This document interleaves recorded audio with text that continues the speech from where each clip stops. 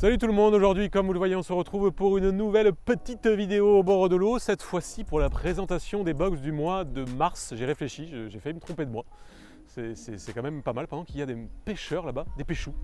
Eh, c'est moi donc présentation des vidéos, euh, des vidéos, des box du mois de mars en vidéo bien évidemment.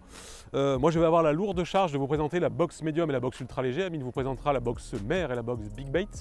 Donc des box du mois de mars bien sympatoches, notamment la box ultra léger qui était une box spéciale Sakura Truite et la box Big Bait qui était une box spéciale Ilex Junkie euh, donc faite par Frédéric Julian. Donc vraiment des box sympathiques. Petit aparté, le mois prochain, box ultra léger spécial Volcan Soul, toujours spécial truite, donc vraiment bien sympathique, une marque moins connue, mais vraiment des produits très très très très sympatoches dedans, enfin je dis moins connue à chaque fois qu'on vous la présente, donc vous devez commencer à la connaître.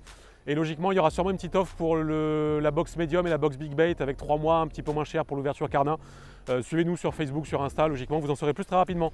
On passe à la box médium, euh, une box médium bien sympatoche avec un premier produit qui n'est autre qu'un crankbait de la marque Junkie, le Junkie, je crois que c'est le Kraken 55F c'est ça, je ne dis pas de bêtises, Kraken 55F, donc un petit crank qui va aller, je pense, à un petit mètre de profondeur.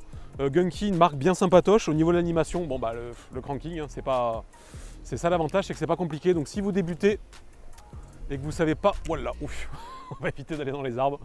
Si vous débutez et que vous galérez, prenez du crank. Franchement, c'est super pour ça. Je pense que vous allez voir, bah, je fais rien de spécial en fait. Je lance et je ramène. Petite particularité avec les cranks, n'hésitez vraiment pas à faire des pauses même des toutes petites pauses et vous redémarrez. Et surtout aussi à varier la vitesse de récupération. Que vous allez aller doucement. Et temps hop, une bonne accélération. Vous allez ralentir, faire une petite pause. Remouliner tranquillou. Refaire une grosse accélération. Et ainsi de suite. Vraiment essayer de, faire une nage qui ne soit pas trop monotone. Ça peut aussi des fois marcher. Vraiment un leurre qui nage euh, de façon, enfin la même vitesse tout le long. Mais essayez quand même souvent de faire,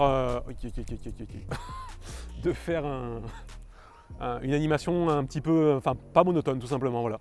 Donc en mettant une accélération, petite pause, mouliner doucement, deux trois petites tirées dans votre canne. Voilà, essayez vraiment de, mixer un peu tout et des fois bah, peut-être que les poissons vont prendre sur une animation très lente, donc avec vraiment un ramener très lent et des pauses, ou des fois sur une animation très rapide. Je sais qu'en été, sur les perches, ça peut très bien marcher vraiment. Vous ramenez comme un. Bon, là par contre, le crank est sorti de l'eau à cause de la graffe, mais vous ramenez vraiment comme un bourrin. Et franchement, ça marche super bien des fois l'été sur les perches pour les énerver, ou même sur les brochets, mais je sais que sur les perches, ça marche vraiment bien. Vous vous ramenez vraiment vite et du coup, le leurre, bah, souvent, ça va énerver. Et ça va faire venir nos amis les poissons. Donc voilà, un leurre de prospection vraiment rapide, euh, vraiment fait pour le power fishing qui va vous permettre de localiser les poissons. C'était le petit Junkie. De mois-ci, on pourrait presque dire que c'était la box power fishing. Je pense que vous allez le comprendre. Donc on a eu déjà un premier crankbait, donc celui de chez, chez Gunky. Et là ensuite nous avons le Crank VS 250 de chez Volcan Soul. Donc pareil un crankbait mais qui va plus profond. Son nom le laisse comprendre, il va logiquement à 2m50, 250. Euh, donc euh, la même chose que pour le premier mais qui va aller gratter un petit peu plus profondément au niveau de la couche d'eau. Donc là au moins vous avez deux leurres complémentaires. Vous verrez le troisième est encore plus complémentaire avec ces deux là. Donc là ça va être à peu près le même type d'animation. Euh, particularité, vous allez vraiment pouvoir faire ce qu'on appelle le bottom tapping. Alors avec un accent anglais magnifique. Euh, le bottom tapping, en gros, c'est quoi? C'est tout simplement en fait d'aller racler le fond. C'est encore plus. Euh, oula, pendant que je tombe, je crois que je suis bourré, Amine. Donc le bottom tapping, c'est vraiment tout bête. Euh, c'est vraiment le fait en fait d'aller racler le fond ou de passer dans les obstacles et de faire taper la bavette sur le fond, tout simplement. Donc là, par exemple, en plus, vous voyez, je pense qu'on a, un, je pense vous allez voir, on a un étang avec pas mal de vases, de sable. Donc là, en fait, si le crank racle le fond, bah, en fait, ça va vraiment faire des petits nuages de vase. voilà. Là, je pense que vous le voyez, ma canne est vraiment tendue. Là, justement, je suis sur le fond. Donc là, je fais ce qu'on appelle du bottom tapping. Ici, le problème, c'est qu'il y a beaucoup d'algues. Du coup, je sais malheureusement ce que je vais ramener, mais c'est pour vous expliquer le principe de l'animation. Donc pour faire du bottom tapping, bah, c'est simple. Si vous avez un endroit où il y a 2 mètres de fond, vous mettez un crank qui va à 2 mètres 50, votre crank va aller taper sur le fond et en fait la bavette bah, va déplacer des sédiments, euh, taper dans les branches, taper dans les cailloux et ça va laisser penser un petit poisson qui est en train de fouiller le fond ou un truc dans ce genre. Et ça marche très très bien, pareil sur les perches, sur les, sur les, euh, les cendres aussi, ça peut très bien marcher le crank. Donc là, bah, malheureusement, vous voyez, c'est que dans ce lac-là, il y a beaucoup d'algues filamenteuses. Et du coup, voilà, on ne passe avec rien du tout. On va réessayer un petit peu plus à droite là-bas. Avec un peu de chance, il y a peut-être un peu moins d'algues. Et vous mettez vraiment votre canne, voilà, comme ça, comme d'habitude, hein, une canne droite à peu près légèrement penchée pour sentir les touches. Et vous moulinez. Et à un moment, quand vous allez toucher le fond, bah, vous allez sentir que ça va commencer à forcer.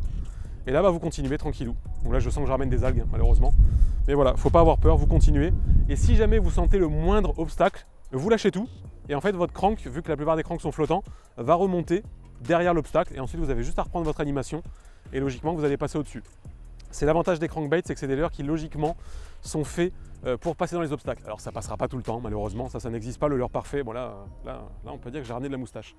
Mais logiquement, vous allez pouvoir passer quasiment partout avec des crankbaits si vous faites attention et que vous relâchez bien dès que vous sentez l'obstacle.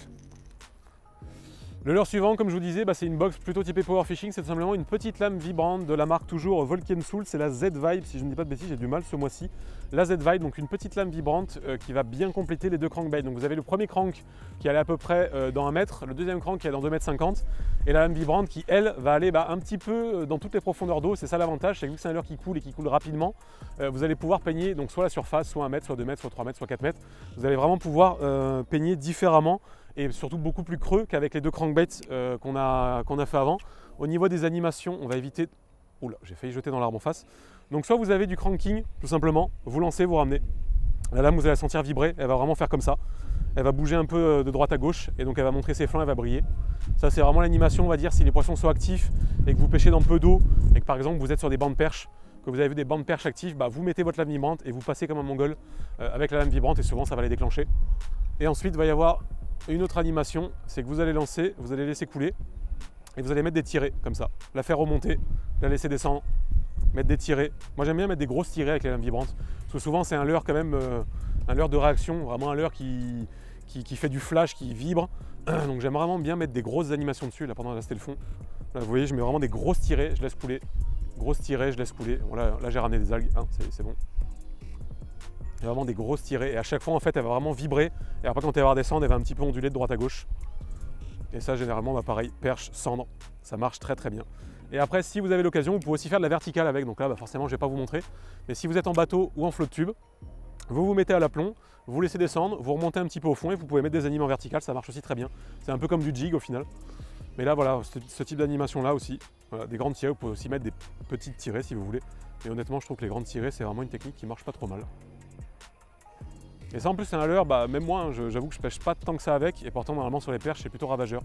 Euh, surtout bah, voilà, la belle saison quand elle commence à être active, euh, il y a moyen souvent de faire des belles pêches avec les lames vibrantes, ça peut aussi marcher sur la truite d'ailleurs. Euh, pensez-y que l'ouverture de la truite arrive sur la truite, la lame vibrante peut très bien marcher aussi. Donc voilà, c'était le troisième leurre, on va passer directement sur le dernier produit. Et le numéro complémentaire est tout simplement le petit Dewa Detail en 4 pouces, donc un petit finesse de la marque Dewa. Bon, la marque Dewa, ça je pense que tout le monde connaît. Et donc là, c'est une TP, ça s'appelle la TP source de ces Volcan en 10 grammes. Donc une TP qui va pas trop mal dessus, qui pourra aussi vous permettre d'armer bah, n'importe quel autre leurre que vous avez euh, avec vous. Hein. Vous pouvez armer un chat, enfin n'importe quoi, voilà, c'est une TP classique. Donc euh, le petit le petit finesse, donc ça vous avez l'habitude, on vous en met quand même de temps en temps. Donc là de la marque Dewa, un finesse qui est très très souple, par contre ça c'est très c'est vraiment très cool pendant que je rote et que j'ai le hockey en même temps, c'est pas mal. Donc ça c'est pas compliqué, moi ce que j'aime bien c'est vraiment des animations très minimalistes sur le fond. Vous prenez contact avec le fond et vous mettez des tout petites tirées de canne en fait vous le faites suivre le fond, vous le faites décoller tout doucement, le faire deux trois petites tirées, il se repose au fond. Vraiment des bails. Putain j'ai cru, j'ai vraiment cru que j'avais pris une boîte. Et vraiment voilà des toutes petites tirées, vous le faites suivre le fond animation minimaliste qui va bien dans cette période-là, une période froide, donc si vous pêchez en privé ou même à l'ouverture quand les eaux sont encore un peu froides, c'est vraiment une technique qui va bien marcher justement quand les poissons sont un petit peu feignants, qu'ils ont un petit peu la flemme de bouger. Euh, animation très lente comme ça, vous lui faites suivre le fond tout doucement et vous le ramenez. Je vous remonte rapidos. Hop, on jette, on prend contact avec le fond. Donc là, il n'y en a pas beaucoup, donc ça va vite. Je suis qu'à 10 grammes. Là, je suis un peu lourd pour l'endroit. Et ensuite, des toutes petites tirées. Là, je m'accroche. Hop, et vous lui faites suivre le fond tout doucement. Vous le ramenez tout doucement, tout pépère. De temps en temps, n'hésitez pas aussi des fois à faire des pauses, à le laisser poser au fond. Et vous allez voir que des fois, bah, des poissons vont soit ramasser quand vous allez euh, euh, reprendre, ou soit carrément sur la pause, ça peut arriver. Des poissons viennent ramasser leur sur le fond. Par exemple, je, pense, euh, je, peux, penser à des basses. Les basses font ça de temps en temps. Mais voilà, animation vraiment minimaliste. Je pense que vous avez compris. Ça complète bien le reste. Vous aviez bah, des leurres plutôt typés power fishing, les trois autres. Et là, bah, vous avez un leurre beaucoup plus typé pêche finesse, pêche lente qui vous permettra bah, de prendre les poissons, ça marche pas avec le reste. On a fini au niveau de la box médium, donc une box bien sapatoche. N'hésitez pas comme d'habitude à nous dire ce que vous en pensez dans les commentaires en dessous de la vidéo. On se fera un plaisir bah, comme d'habitude de vous répondre. Euh, si vous avez questions, amélioration, euh, négation, euh, trimission, Amignac par contre non. non. il se gratte. Non, là franchement, j'espère qu'il mettra la GoPro pour montrer ça parce que je trouve ça choquant. Donc voilà, là-dessus, je pense avoir dit assez de conneries. On se retrouve très bientôt pour d'autres vidéos et je vous dis, chose tout le monde